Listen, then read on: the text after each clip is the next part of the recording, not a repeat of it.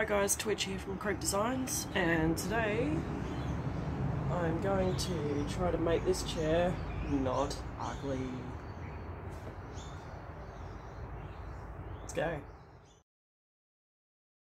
Alright, so I picked this chair up for free off the side of the road ages ago and it's just been kind of sitting there with crap on it.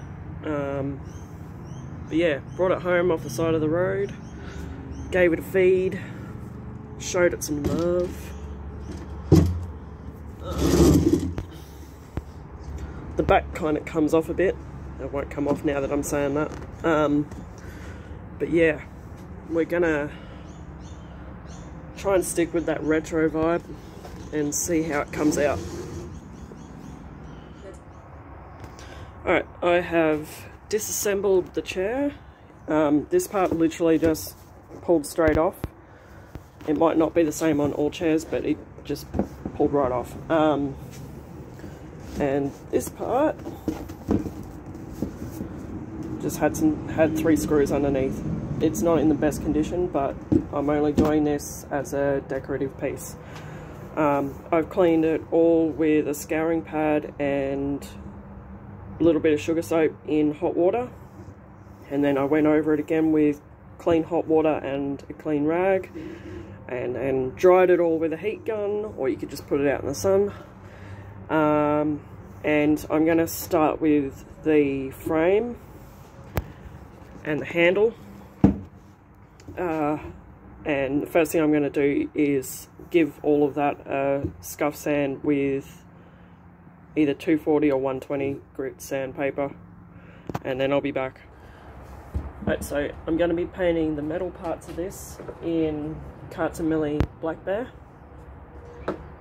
I've thrown the bottle out already because I've just emptied it. Um, so with the handle, I've taped off around it. It's only a rough tape job and you'll see why later. Um, I'm not too concerned about getting the black on the vinyl, but I just don't want it everywhere. Um, so I've scuff sanded this and I'm just using a small Unipro brush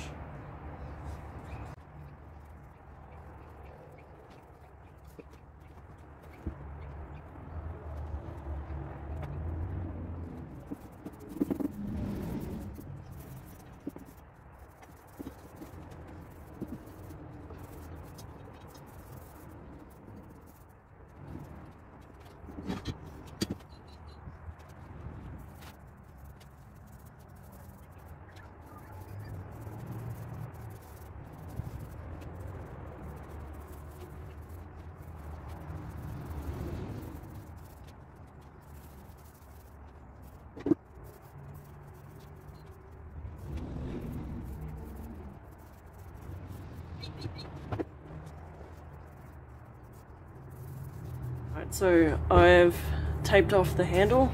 I've already painted, started painting the other side. Um, and I'm painting the vinyl sections of this in Millie Anuka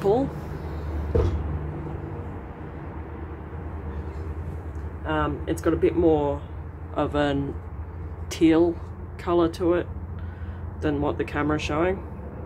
Um, and I'm just using a sleek 25mm brush.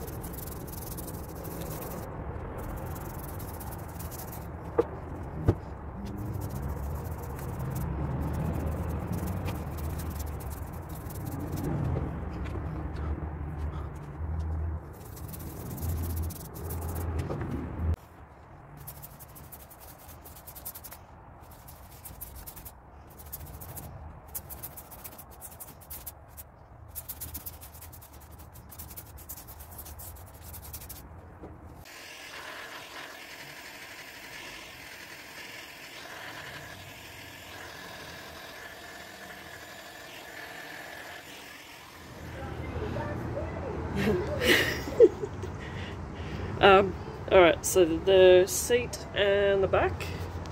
Really wish this colour would show up properly. Um, the seat and the back have, I think, three coats. Maybe two coats and a spot coat. Um, I didn't film it because my phone was going flat, but um, after the first coat, when applying the coats on top of that, I would mist mist over the entire thing and then brush it on because um, the first coat of paint, once you get that first coat of paint on it, creates a bit more friction. So it'll go on smoother with some misting, but this is this is great. You wouldn't even think this was painted, I don't think. Um, the back of the seat has a bit of damage to it, but I'm not trying to make it perfect. It's not a new chair. It looks super blue, but it's more of a teal colour and it looks amazing. Uh, I was going to do the metal parts, like the leg, the frame and the handle silver, but I think I might leave it black. I like black. Right, so I'm going to be doing some GT stripes on the back and the seat.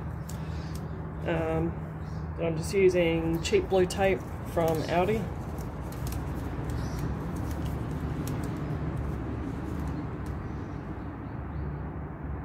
And I am eyeballing this.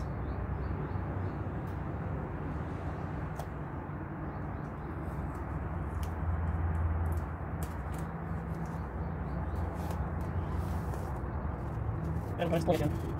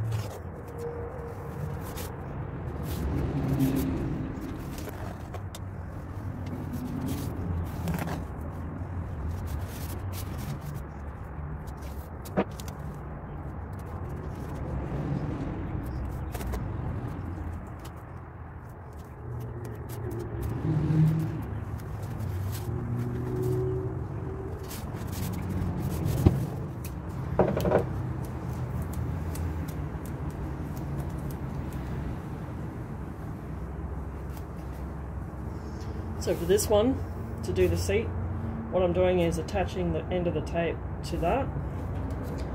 And then um, push it down like without taking it off. And pushing it down like this.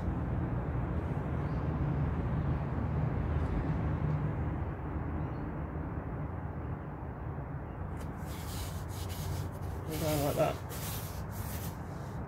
I just made that up then One off there. Push it down into that little groove. Run it down the back and I'll just let it hang down the back until I can turn it around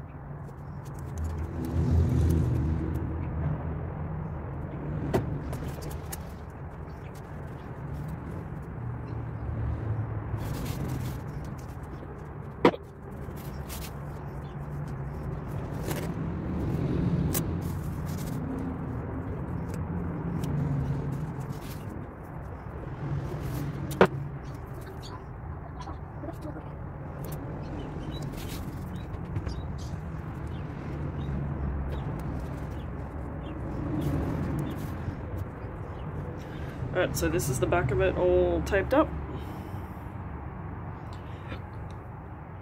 And I've also taped all of this because I don't want this part painted and I've just pushed it down as much as I can. It doesn't have to be perfect, it's only a decorative thing and I'm not going to be pedantic about it.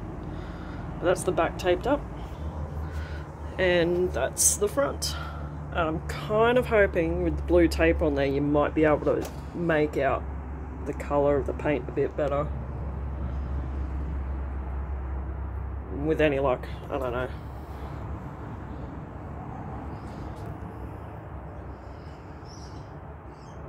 Anyway, I'll get on with it.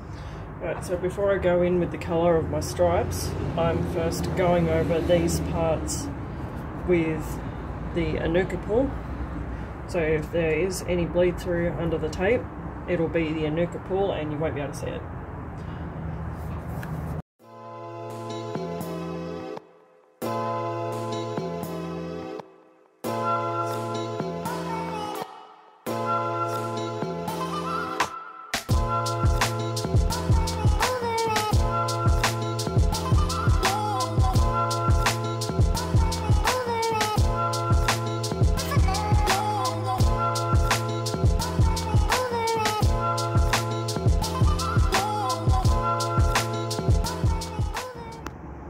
I forgot to mention it before because I was distracted by my partner, but uh, doing the stripes in Black Bear, it's same as the frame of the chairs.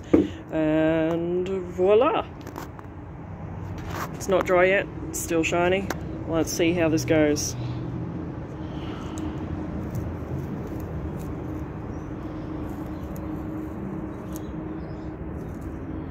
Oh, there's a little bit of bleed there. Oh, look at that!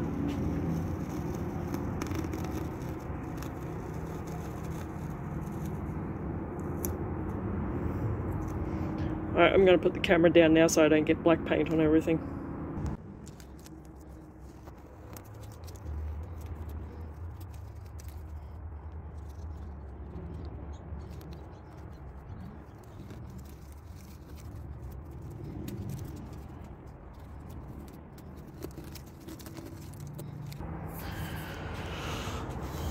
So there's a bit of bleeding, but I can fix that up easily. It's pretty much where the trim is, so that's a bit of a bitch. Um, well, I'm going to peel the rest of this off and then we'll come back.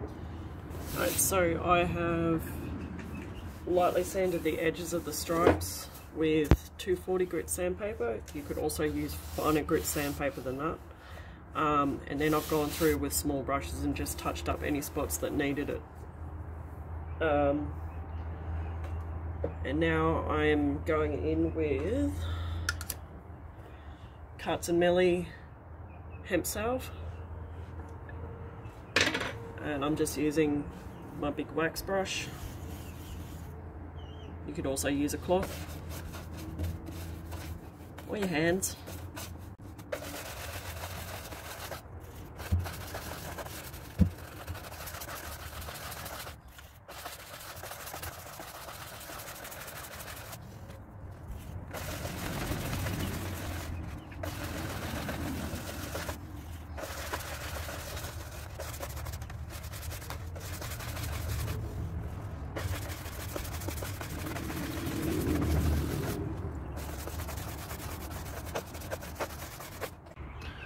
So now I'm going to go in with and Boutique Soft Wax in black. Look at the mess. So I've just got a little bit on my on my brush, and this is going over the clear wax that I've already put on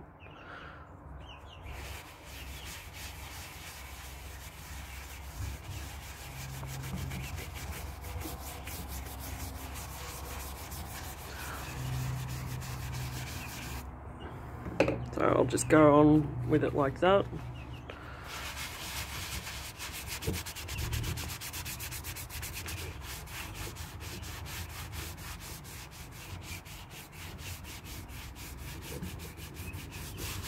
If you feel like you've got too much on there, you can take your clear wax again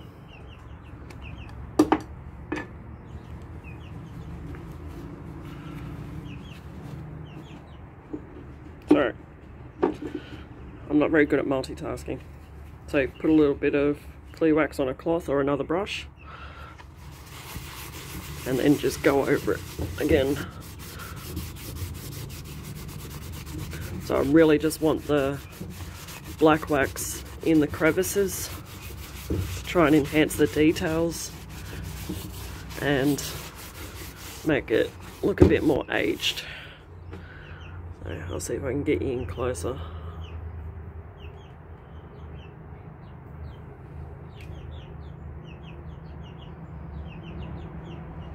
Like that. So I'll keep getting the rest of this done and then that'll be it. And I'll take some photos and we'll be done. If you enjoyed this video, please remember to like and subscribe. And if for any of the products that I used in this video, you can find the link in the description. Thanks guys.